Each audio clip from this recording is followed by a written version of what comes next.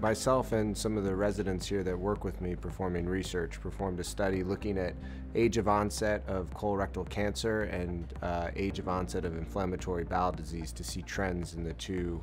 categories where you see that the younger patients, as known with longer disease duration, had higher incidence of cancer. While this is known, the exact operative approach or outcomes from these cancers determined by the disease duration or the age and onset of disease has actually not been extensively studied. While it was standard of care previously to do uh, subtotal colectomies or total proctocolectomies in these patients, times have started shifting with question of being able to do segmental colectomies. So when we looked at these groups, we looked at the operations performed, the disease duration, the grades of their cancer, stage of their cancer, as well as their evidence, uh, as well as their experience with uh, recurrence of disease or survival. And what we interestingly found was that the patients that were younger had extensive disease dur duration that was quite longer, as well as severely active disease at the time of their colectomies for cancer. In addition, we found that the patients that were older were more likely to undergo segmental colectomies as opposed to the burden of a much larger operation such as a total proctocolectomy,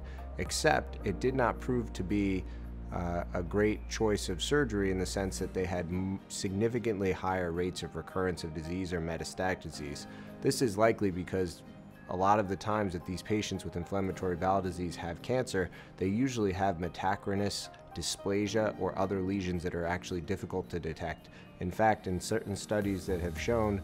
a decreased rate of detection of neoplasia or advanced neoplasia in inflammatory bowel disease patients by colonoscopy as compared to those that are just sporadic colorectal cancers. I believe this is advancing our field by